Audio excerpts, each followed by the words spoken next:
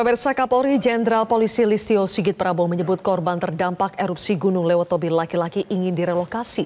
Hal ini disampaikan Kapolri saat meninjau posko pengungsian Gunung Lewotobi laki-laki di Nusa Tenggara Timur Senin siang.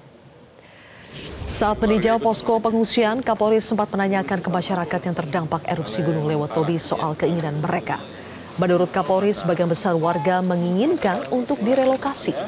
Namun Kapolri menyebut para korban di posko pengungsian ingin direlokasi ke tempat yang tidak jauh dari kebun dan ternak. Pemda setempat pun diminta untuk membantu mempercepat proses pencarian tanah, lalu pemerintah pusat akan segera melaksanakan pembangunan. Dalam kesempatan ini Kapolri juga membawa bantuan mulai dari sembako, selimut hingga pakaian dan obat-obatan.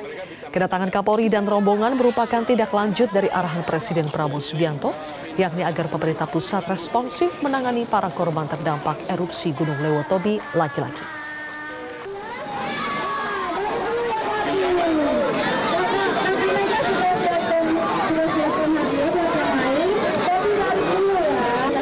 tidak normal Pak. Tidak normal. Iya. Sekolah tapi Tidak normal, datang baca-baca buku saja Pak. Oke. Satu, dua. Terima kasih Bapak. Jelajahi cara baru mendapatkan informasi. Download Metro TV Extend sekarang.